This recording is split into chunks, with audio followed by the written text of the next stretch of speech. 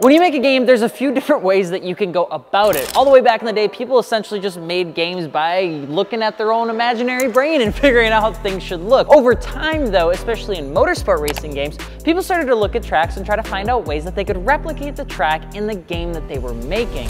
Over the course of decades, that has gotten more and more sophisticated and quite honestly, more and more difficult. And so today I thought I would talk to you a little bit about how Torque Drift 2 goes into this because the way that we go about it is extremely big pain in the ass for us, but it results in some of the most accurate track development you could possibly get in a racing game. See, here's the thing with Torque Drift 2, which by the way is a free-to-play game that you can go download over on Epic Game Store right now, and you can jump right in and drift on different tracks, things like Irwindale or even Long Beach if you wanted to. And if you had it downloaded, you were actually able to go drift at the LZ compound, which was absolutely awesome. Now, here's the thing with scanning racetracks. There's a few different ways that you can go about it. There's people that will go out there and try to measure it in terms of buying the data from the actual racetrack. You would actually be blown away by how much money is out there by people selling data that has to do with just specific spaces. You can buy things like Times Square. You can buy data for Long Beach. You can buy data for the downtown Miami if you really wanted to. And for some tracks, you can actually download and buy the data from the racetrack as to if you wanted to get that into a game. For us though, we wanted to do things differently. A lot of the reason why is because that data is outdated and sometimes not very good. The thing that we use is a big ass drone. And there's two ways that we can go about scanning racetracks. We can use something called photogrammetry and we can use something called LiDAR. Photogrammetry is exactly what it sounds like. It uses a bunch of cameras on a drone to take pictures of what's below it to the highest accuracy that it possibly can. And for most video game companies, they're going to use photogrammetry. Now, photogrammetry is a very accurate system, but it is very dependent upon certain things being met almost perfectly. Things like weather conditions, making sure that there's not a bunch of branches or trees in the way because it won't be able to scan what's below it. And there's a whole bunch of other things that make photogrammetry really, really great as long as essentially you can take a picture from a few hundred feet up to the ground in complete accuracy and without anything getting in the way. For Torque Drift 2 though, we use something else. We use something called LiDAR, which is kind of the biggest pain in the butt ever. But it is the way that we get a more realistic track experience. If you actually went out to play Long Beach, you'll notice that for all intents and purposes, it is damn near identical to the Long Beach Formula Drift track that you're actually gonna see run around in April. The reason that we did that is that we were able to use LiDAR. And what LiDAR is, is it uses a laser system to also measure the distance between the actual drone and the ground. The thing that matters so much about us using LiDAR or photogrammetry is that sometimes you have to use a mix of both. But for us, we are very, very focused on using LiDAR as much as we possibly can because it gets you the most realistic version of that racetrack. So much so that you're actually able to see the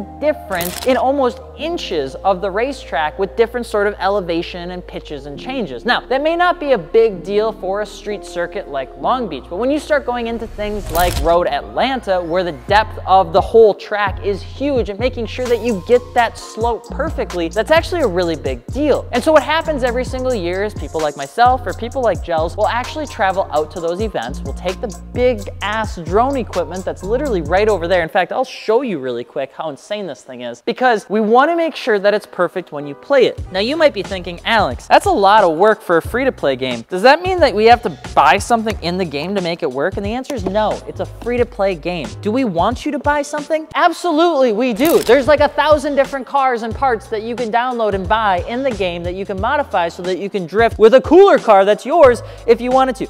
This is just the camera that goes on the drone that we use to scan our tracks with Formula Drift. This is a very simple looking box, but let me tell you, it is a very expensive box. This box allows us to capture literally inches differences in terms of, I don't even know how to put this back. I don't even know how to put that back. Here, thank you. It's so detailed that it allows you to get some really wild experiences. And Torque Drift 2 has always been about that. We're trying to deliver the most drift-oriented, drift-focused game that you can get. Now, does that mean that it's a lot more work? Absolutely it does. Does that mean that we have hundreds of thousands of developers making this game? Absolutely not. We have a super lean and super small team. Really, you have people like Gels and I wearing 10 different hats when we go out to a Formula Drift event, shooting content, throwing the drone up, scanning stuff, checking things out. We have people people in-house that are actually making sure that it all looks good so that when you jump into Torque Drift 2, you get the most realistic experience. What I will say is that this takes a ton of work and what ends up happening is it can put quite a strain on your computer, or at least it did. Torque Drift 2 is coming out with a new update we're calling 0.8 right now in the coming weeks that's gonna make the performance of the game that much better. It's gonna allow you to take, especially if you're running a GeForce of some kind, an RTX, either 30 series or 40 series, to the next level in terms of getting just a properly smooth playable experience. We've seen people go from like 60, 70 FPS to 110 to 120. And we have a whole bunch more coming out in the 0.8 release, which you can actually check out the patch notes, if you will, on the website over at torquemotorsport.io. Or if you're looking to actually modify your car in the real world, you can actually buy car parts at shop.torquemotorsport.io. But we did want to spend a little bit of time talking about this because not just with the track, we also do this with car parts as well and the cars that you see in the game. That is why things are taking the time that they are. That's why you see such a passion passionate team behind the scenes trying to make this whole thing work. And that's why Torque Drift 2 does feel a little bit different and why they are doing things a little bit different. And it's not because they're trying to do anything besides make a game that feels authentically built for people that just love drifting. So if you have any questions on how we scan a racetrack or you wanna know more details about our big Black Mirror style drone, you can feel free to let us know in the comment section below. And if you haven't had a chance yet, go download Torque Drift 2 on Epic Games Store. And if you already have and you've got some feedback for us or things that you'd like to see, drop a comment below. I've said it before and I'll say it again.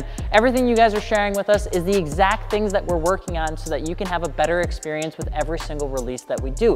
This is a free to play early access game and we're just trying to make it the best experience experience we possibly can. So I'm Alex, Alex Martini with two underscores on Instagram. I'm over here on Torque Motorsport today. We hope you enjoyed this video and we will see you on the next one. Adios.